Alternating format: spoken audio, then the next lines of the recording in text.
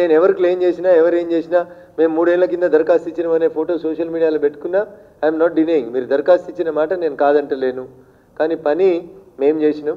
ఇచ్చింది గడ్కరీ గారు ఇచ్చింది కేంద్ర ప్రభుత్వం. జాతీయ రహదారుల్ని కూడా వీళ్ళే తెచ్చుకునేది ఉంటే మరి ఇన్ని రోజుల నుంచి ఎందుకు తెచ్చుకోలేదు? దుబ్బాకలో రఘునందన్ రావు గెలిచే కంటే ముందు ఎందుకు జాతీయ రహదారి రాలేదో చెప్తే బాగుండేది. ఇంకొకటి మా చేగుంట నియోజకవర్గం చేగుంట మండల కేంద్రం దగ్గర అనేక యాక్సిడెంట్లు జరుగుతున్నాయని ఒక అక్కడ యాక్సిడెంట్ ప్రోన్ ఏరియాను గుర్తించి అక్కడ ఒక బ్రిడ్జి కావాలనేది ఆ ప్రాంత ప్రజల డిమాండ్. ఒకరోజు దాదాపు తొమ్మిది గంటలు జాతీయ రహదారి మీద ఒక సంవత్సరం క్రితం ధర్నా చేసి ఆ చుట్టుపక్కల ఉన్న పన్నెండు గ్రామాల ప్రజలు మొత్తం జాతీయ రహదారిని దిగ్బంధనం చేసిండ్రు. ఆ రోజు అక్కడ బ్రిడ్జి మంజూరు చేయించలేదు. కానీ తూప్రాన్ అని మా చేగుంట నుంచి ఒక పది కిలోమీటర్ల ముందుకు పోతే ఉంటుంది.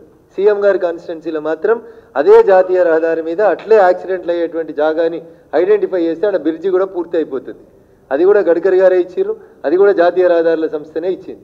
ఒకవేళ మంత్రులు ఎంపీలు ఎమ్మెల్యేలు అందరు రిప్రజెంట్ చేస్తే తూప్రాన్ దగ్గర బ్రిడ్జ్ కట్టినప్పుడే చేగుంటలు కూడా కట్టేటోళ్ళు.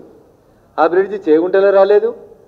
ఆ రోజు వాళ్ళు నిజంగా కృషి చేసి ఉంటే ఎట్లయితే తూప్రాన్ దగ్గర బ్రిడ్జ్ కడుతుర్రో అదే రోజు చేగుంటలో కూడా బ్రిడ్జి ప్రారంభం అయ్యి ఉంటే నిజంగా ఎంపీ గారు ఎమ్మెల్యేలో మంత్రులు కృషి చేసిరని చెప్పుకోవచ్చు. మేము గెలిచి మేము వెళ్ళి మేము కష్టపడి మేము సంబంధిత మంత్రుల్ని రిప్రజెంట్ చేసిన తర్వాత నేను కూడా మూడేళ్ళ కింద ఒక దరఖాస్తు ఇచ్చిన ఇగో నేను ఇచ్చిన దరఖాస్తు అని చెప్పుకుంటే చెప్పుకొని నాకేం అభ్యంతరం లేదు. కానీ తెలంగాణ ప్రజలు విఘ్నులు కేంద్రం ఇచ్చిందా?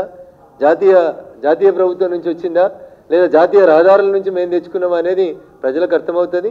నేను చెప్పదలుచుకున్నది మాత్రం దుబ్బాక శాసనసభ్యునిగా నేను గెలిచిన తర్వాత నేను వెళ్ళి ఇచ్చినటువంటి దరఖాస్తులకు స్పందించి పాజిటివ్గా కేంద్ర ప్రభుత్వం మాకు ఒక చేగుంట రెడ్డిపల్లి దగ్గర ఒక బ్రిడ్జిని అదే రకంగా మెదక్ సిద్దిపేట ఎల్కతుర్తి జాతీయ రహదారిని మంజూరు చేసినందుకు భారత ప్రభుత్వానికి సంబంధిత మంత్రి గౌరవనీయులు నితిన్ గడ్కరీ గారికి నేను ప్రత్యేకమైనటువంటి కృతజ్ఞతలు అభివందనాలు అభినందనలు తెలియజేస్తాను